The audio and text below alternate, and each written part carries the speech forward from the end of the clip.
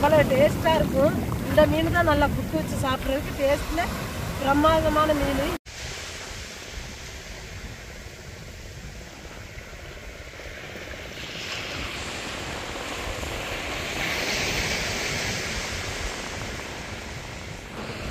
இந்த மீனோடைய கலரை பாருங்க. இந்த முகம் ஃபுல்லாக பச்சட்டின்னு இருக்கும். பல்ல பாருங்க ஊதா நிறத்துலையும் லைட்டாக வெள்ளையா இருக்கும். இந்த கொம்பு மாதிரி இருக்கு பாருங்க. இது வந்து கிளிக்கு இருக்கிற மாதிரி அவ்வளோ ஒரு அழகா இருக்கும் இந்த மீன். வாழை பாருங்க. நம்ம கிளிக்கு எப்படி இருக்கும் வாழை அது மாதிரியே இருக்கும்.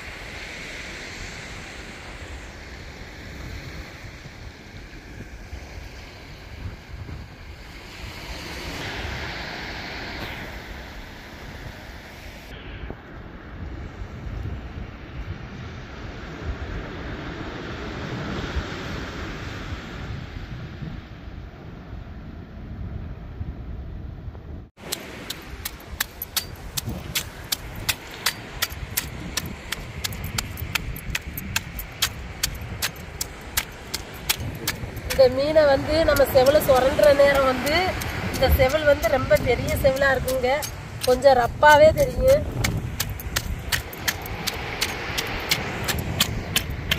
இந்த மீன் வந்து புட்டுக்கு நம்ம புட்டு செய்யணும்னா இந்த மீனை வந்து மீ குழம்பு வைக்கிற மாதிரி கட் பண்ணுவேன். அப்படி கட் பண்ணக்கூடாது. கொஞ்சம் பெரிய துண்டாக போட்டால் தான் புட்டுக்கு நல்லா வரும்.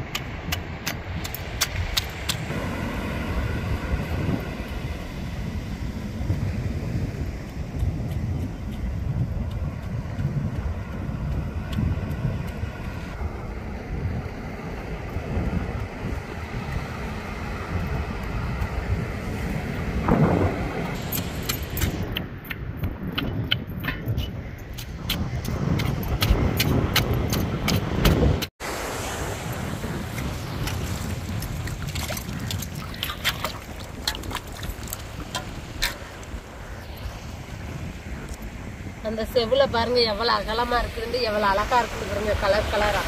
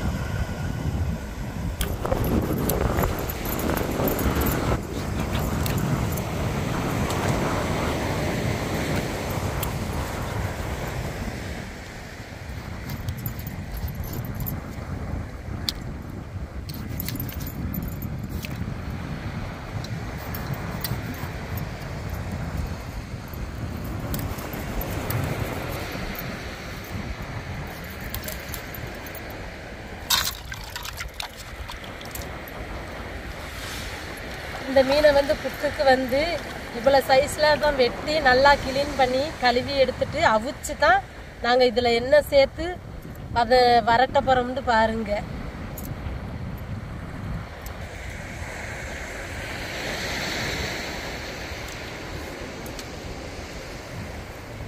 மீனுக்கு வந்து லைட்டாக இந்த கல் உப்பு போட்டு தான் உரசணும். அப்போ தான் இதில் உள்ள மாங்கு போகும். அப்போ தான் எந்த ஒரு மீனாக இருந்தாலும் சரி வெடுக்கு அவ்வளவா தெரியாது. நல்லா சாப்பிட அவ்வளோ ஒரு டேஸ்ட்டாகவும் ருசியான மீன் புட்டுக்கு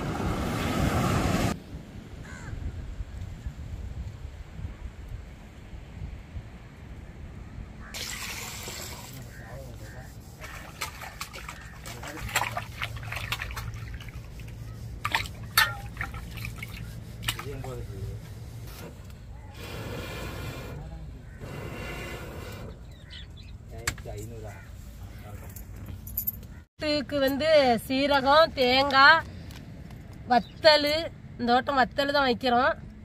இது பூண்டு இது சேர்த்து தான் அரைச்சி நாங்கள் புட்டுக்கு ரெடி பண்ண போகிறோம்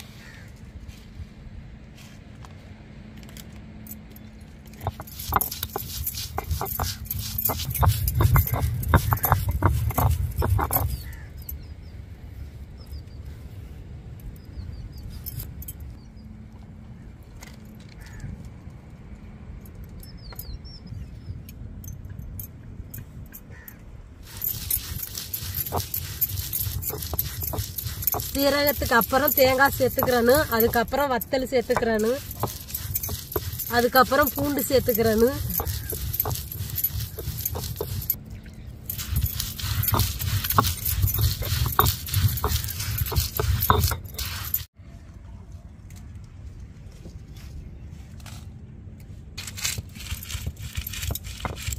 வத்தல் சேர்த்துருக்கோம்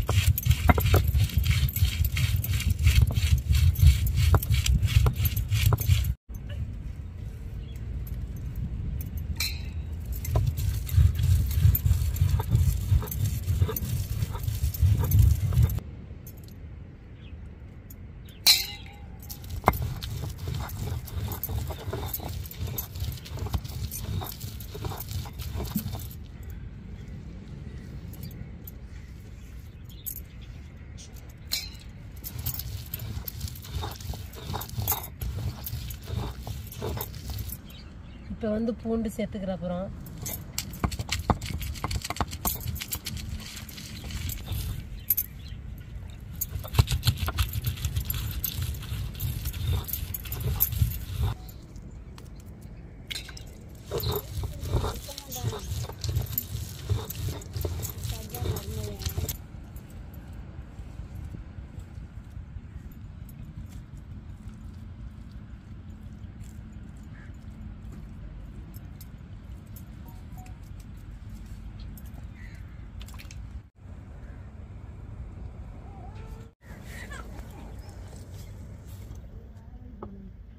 ஒரு வாடை தெரியுதா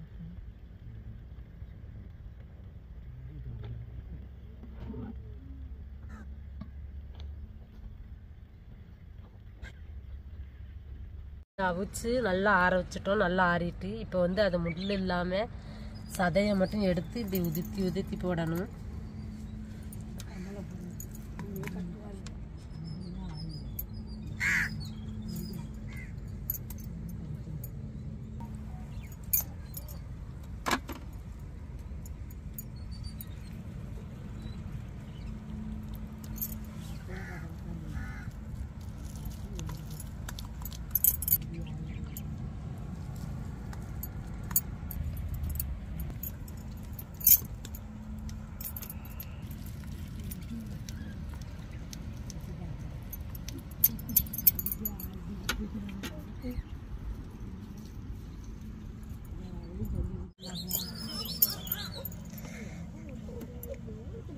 நல்ல ஒரு மனுஷன்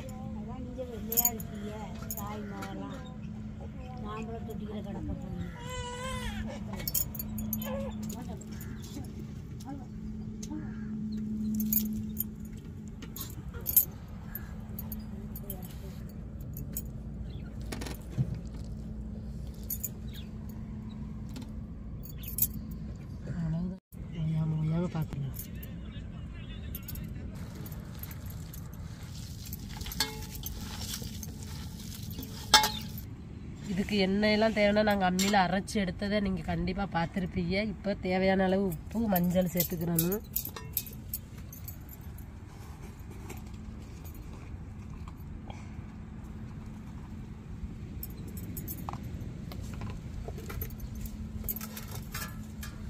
நாங்கள் அம்மியில் அரைச்சி எடுத்த மசாலாவை அதோட சேர்க்க போகிறோம்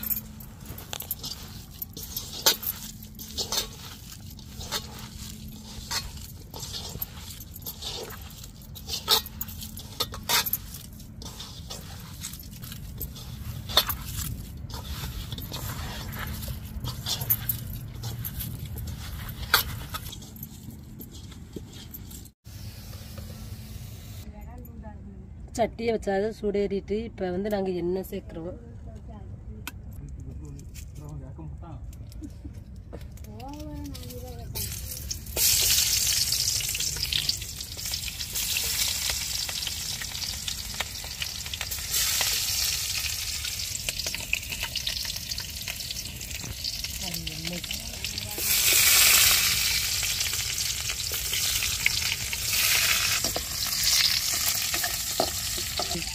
கடுகு சேர்த்துக்கிறணும்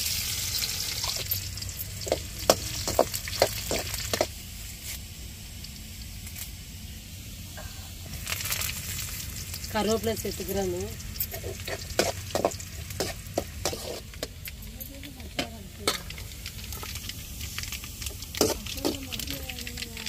நாங்கள் இப்போ விரவி வச்சிருக்கிற புட்டை அதில் சேர்க்க போகிறோம்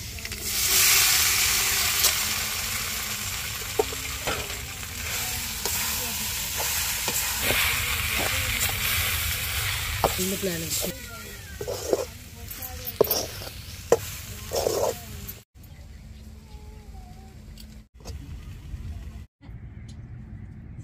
கிளி மீன் புட்டை பாருங்க. எவ்வளோத்துக்குள்ள உதிரியாக இருக்குது இப்படி தான் புட்டு வச்சா இப்படி தான் உதிரியாக தான் வரும். ஆனால் மற்ற மீன்களோட கிளி மீனில் வந்து புட்டு வச்சா செம்ம டேஸ்ட்டாக இருக்குங்க.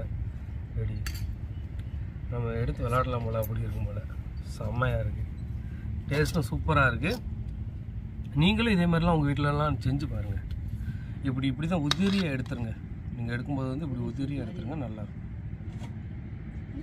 உதிரி பூன்னு சொல்லுவாங்கள்ல அப்படி வரணும்.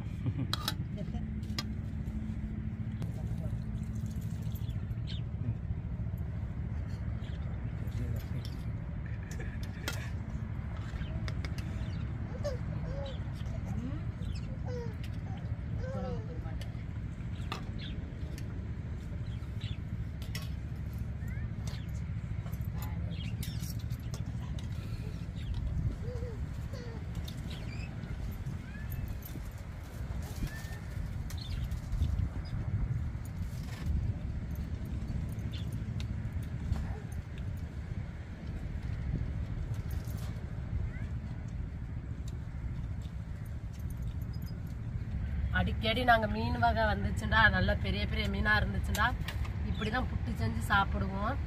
இந்த புட்டுக்கு வந்து எது ஊற்றி சாப்பிட எங்களுக்கு டேஸ்ட்டை காட்டுமுண்டா அந்த புட்டுக்கு வந்து மிளகு ரசம். அதான் முக்காசி எங்கள் வீட்டில் வைப்போம். இந்த புட்டு வகை செய்யும் போது அந்த ரசத்துக்கும் அந்த புட்டுக்கும் அவ்வளோ ஒரு டேஸ்ட்டு காட்டுங்க. அவ்வளோ ஒரு ருசியாகவும் டேஸ்ட்டாகவும் இருக்குது நீங்கள் மறக்காமல் இந்த கிளி மீனை வாங்கி நீங்கள் புட்டு செஞ்சு சாப்பிட்டு பாருங்கள் அதோட டேஸ்ட்டு உங்களுக்கும் தெரியும். எல்லாரும் கேட்பீங்க நீங்களாம் வகை வகையா செஞ்சு சாப்பிட்றீங்கன்னு. உண்மையிலே நீங்களும் வாங்கி இதே மாதிரி எங்களை மாதிரி வகை வகையா சாப்பிடணும். கண்டிப்பா மறக்க